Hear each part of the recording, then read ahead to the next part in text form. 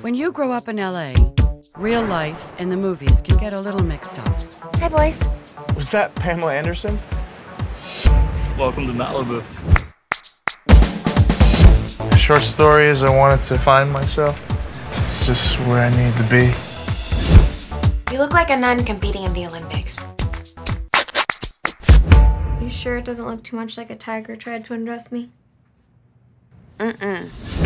I'm not going to summer school, Mom. What are you gonna do? Spend the summer surfing? Why'd you take off last night? Things got kind of weird. I'm a virgin. Okay.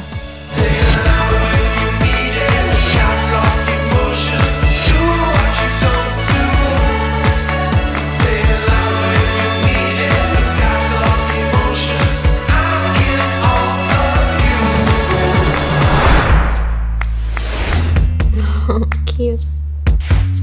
Is that Keanu Reeves? He was friends with Johnny's dad. I'd still hit that.